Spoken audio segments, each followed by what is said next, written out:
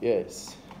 This is your boy Nana Okraku. I'm on it again. Yes, yeah, yeah. So at this time, I just want you to know that be grateful for the small things that many people take for granted. Yes. You have to be grateful for the small, small thing, the basic things that people take for granted.